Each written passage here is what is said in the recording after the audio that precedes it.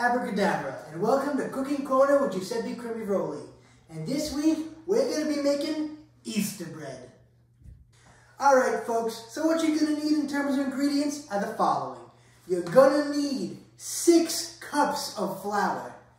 You're going to need 1 cup of milk. You're going to need 3 teaspoons of baking powder. You're going to need 1 teaspoon of vanilla extract. You're gonna need a cup of sugar. You're gonna need one stick of butter. You're gonna need some nonpareils. These are just a little rainbow ball sprinkles. And you're gonna need a half dozen eggs. All right, so in terms of hardware, you're gonna need the following. You're gonna need a fork. You're gonna need two bowls, one of which should be microwave safe. You're gonna need some tin foil or aluminum foil, whatever you wanna call it. You're gonna need a baking sheet, a large one preferably.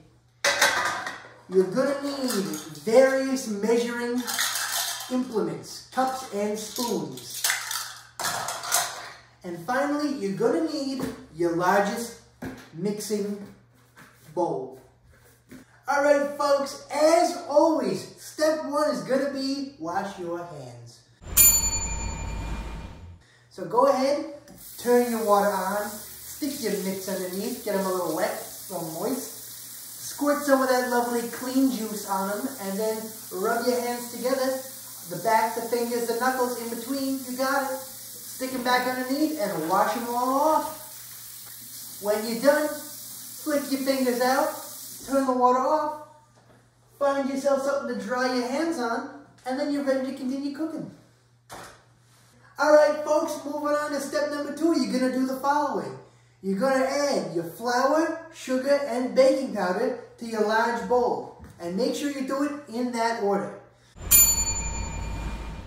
So what I've got here are six pre-measured out cups of flour. Go ahead and add that to your bowl. Following that, you're going to take your one cup of sugar and add that to the bowl.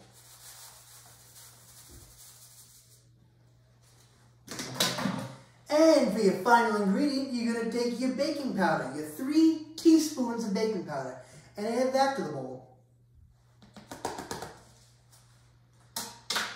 All right, folks, moving on to step number three. It's going to be the following. You're going to add your eggs and your butter. But before you do that, you gotta take your sugar, baking powder, and flour mixture and make a well in it. So go ahead and take a finger, a little phalange of yours, and make a little well in the center that you're gonna put the eggs and butter into, like so. get a little close up over here on that. Nice little well, perfect. Make sure it's got high edges, a deep bottom, Fantastic. All right. Now we're gonna melt our butter and crack our eggs. And then we'll crack and beat the eggs. All right, now that we've got our five beaten eggs and our one stick of melted butter, we're gonna add them to the well in the powdery mixture. So go ahead and take your five eggs and add them to the well. And then you'll take your stick of melted butter and you'll add that to the well. And then, using your mitts, you can start to mix it up. All right, folks, now that your butter and eggs are inside your well of flour and other ingredients, we're going to move on to step number four, which is going to be preheating your oven. So, take this opportunity to step back, head to your oven, hit bake, set it to 350 degrees, and hit bake again to start the heating process. All right, folks, the oven's heating up. We've got our well here. Now we're to add the next two ingredients, which is to be milk and vanilla. We call this step number five. Go ahead and add one cup of milk. Mr. Steady Hands over here.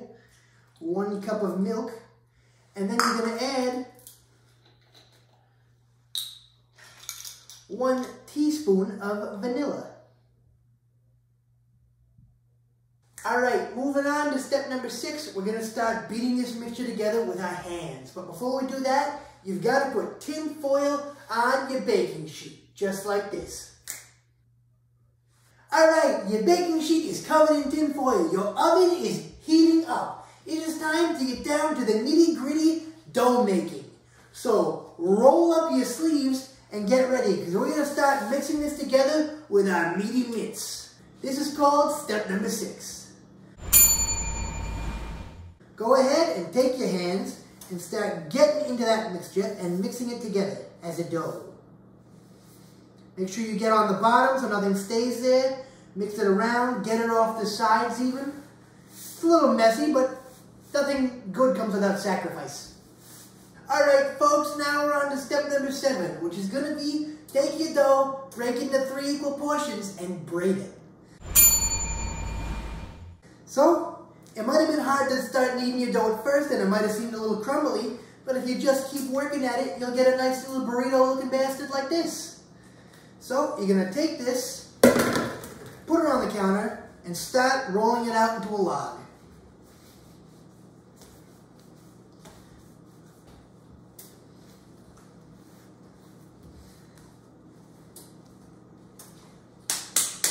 Once you've got it into a nice loggy shape, you're going to go ahead and cut it into three equal portions, like this.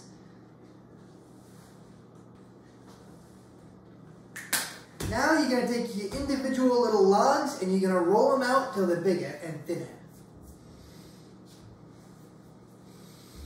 Alright, we've got three thereabouts equal logs. We're going to take them, put them on your sheet, and braid them together. This is where you people with long hair are going to have a distinct advantage. So go ahead and take your logs and put them out here on the tray. Bring the tops of them together like this probably. And then do the old three-man weave.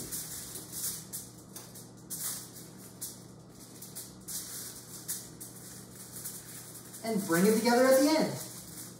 Clump it up a little bit. You can use a little bit of water to hold it together on the end, like this.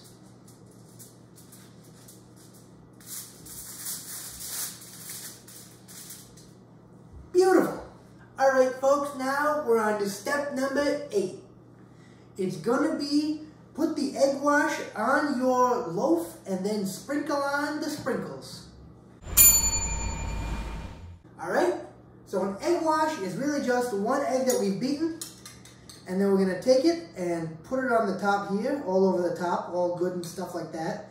If you have a, uh, it's like a pastry brush, if you have one of those, that's the most ideal way of doing this. You're gonna spread it all over the top it's like a fine coating of egg. It's like an egg. It's like an egg glazing for the bread, if you would. You're gonna cover the whole thing in it. Make sure you use the entire egg wash. It, it was one egg that I just kind of cracked and beat up. Apply it to the top. And once you've done that, take your sprinkles. Open the little guys up.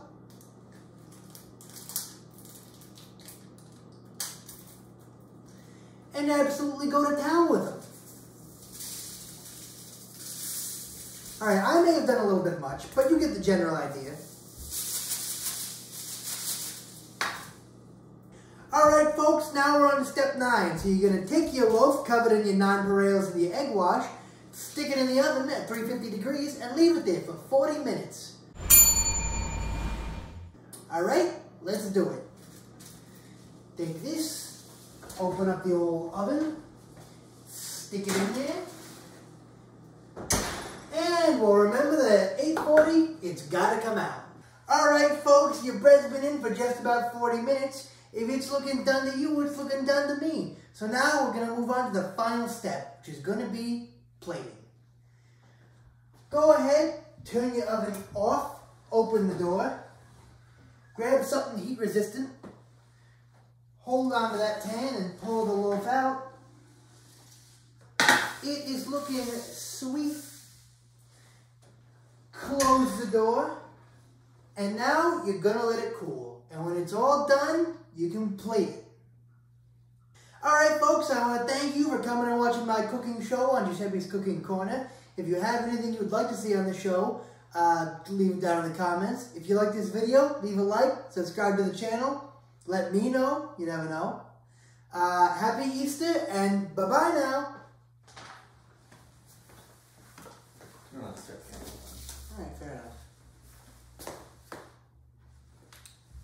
No, you let them oriented. Doesn't matter to me, As long as you can see all the ingredients, it's fine.